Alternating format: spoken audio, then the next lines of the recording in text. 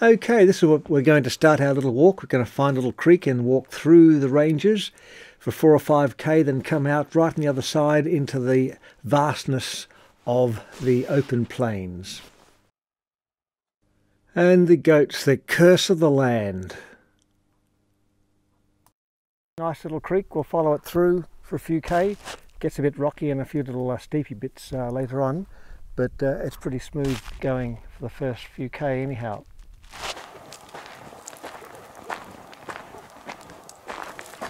It's always nice to walk along a track without other footprints.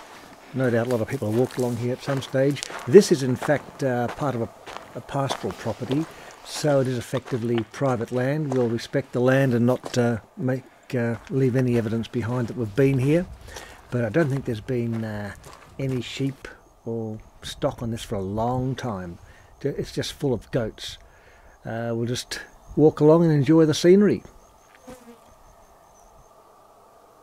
As we get further along, the gorge gets a bit steeper. It's not really that super spectacular, but it's not too bad. It's a well, it has got a name, but uh, it's not really on the tourist list. There's no actual track or signs to it as such. There's the bloody goats. I hate the things. Look at this. It's going to take a munch. It's going to start eating everything. Look at that. It's eating the tundra.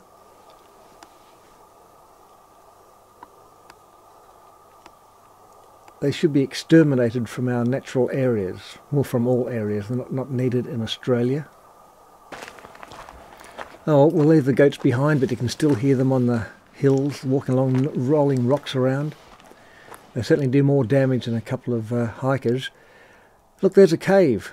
There's probably a skull up there, but of course we wouldn't want to disturb that because it could be uh, significance. And, uh, oh, the lovely river, river red gums. They probably get a bit of water every few years when it rains. Must take the drone down here next time and do some drone shots. As long as the GPS doesn't get mixed up and it flies to China. Ah yes, we're getting a bit cliffy here. Hope it's not dark by the time I get out. Usually I run out of time on these sort of walks. I don't have a GPS, I don't really know where I am, but uh, if you keep walking west you'll get out to the plains. I like this, it's a natural goat trap. The silly goats think they're, in, they're invincible, walk along the cliff, fall off into this hole and die. More of them should fall in the hole. And here's another stupid goat. Fell off a cliff. Well, that's about the only really difficult bit. Uh, bit of a scramble around the rocks to get over there and a bit slippery. I wouldn't want to do it in the wet. Um, obviously, be a bit of a, bit of a torrent uh, when there's a big rainstorm. So that's about two thirds through the gorge, and we've got to go down that end there, which um, should be uh, okay. We've done the worst of it, and then we'll get out to the plains and then walk back to the Parachilna Road. Now it looks like Switzerland. It doesn't snow here much though. And we've got the evening sun shining through the mouth of the gorge, shining up the red rocks. It's all very nice. And the sound of the goats walking around.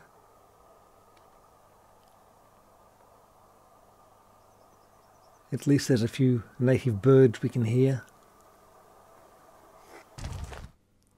And look, we're coming out, after all those hours of walking through the ranges, we're coming out into the plains. Happens fairly quickly actually, walk through a few hills and bang, out in the river flat.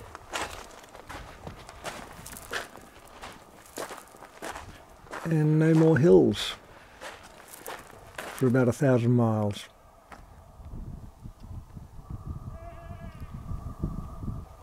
Well, we've finally come out here and broke into the uh, the plains, the open plains. So uh, still a bit of sunlight left. Um, last time I did this, I walked back to Parachilna Road along the edge of the ranges. And, well, I was following the stars. It was a moonless night and the stars moved anyway. Uh, I got there eventually. Uh, this time there's a micro, little micro moon and I'll also uh, go a bit, uh, go south a bit, and uh, find a fence line with a track along it and go along that. Might be a bit easier, I think. Um, so it'll certainly be dark, and I think the moon will be down by the time I get back. I've left the bike on the road, so then do the last four kilometres ride back to the car. So it should be all to the good and uh, very good walk, uneventful, luckily and um, yeah, I enjoyed it more than last time. Uh, the wind was blowing enormously last time, and I just uh, it was a bit disquieting, and the uh, tree was going to blow over, and uh, just blowing you off things. It was really annoying. So this time, beautifully still. We couldn't want a better day. Um, it's going to be very cold. I think it's. Um, it's got that chill to it. I think once the sun goes down, it's going to get pretty close to zero. So um, I've got a lot of warm stuff, so I should be okay.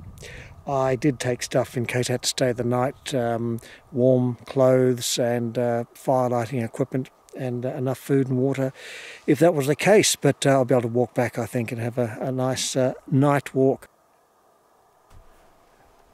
Another little cave to visit sometimes, maybe. It's uh, quite easy to walk around here, as you can see. You get your feet spiked by um, spiky twigs and things but that's not too bad. This is the range looking up towards the north.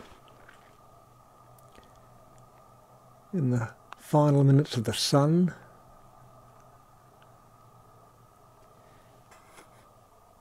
This is the final glitch of the sun. There it is, just gone down. It didn't go green either. And a little micro moon.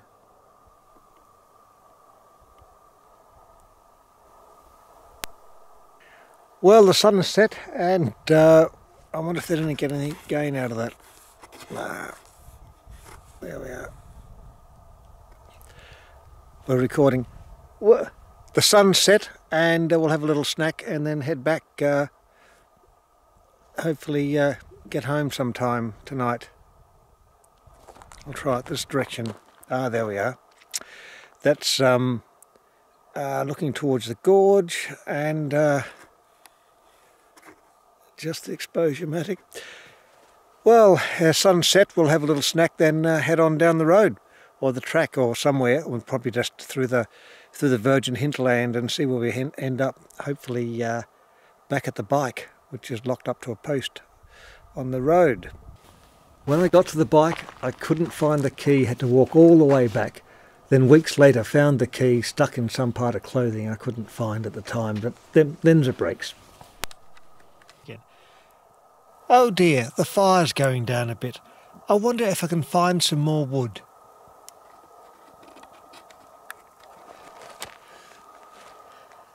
Oh, let's have a look here. Oh, look.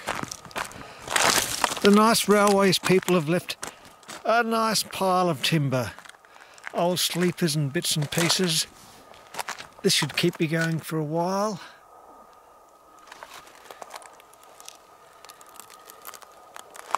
just the thing we need.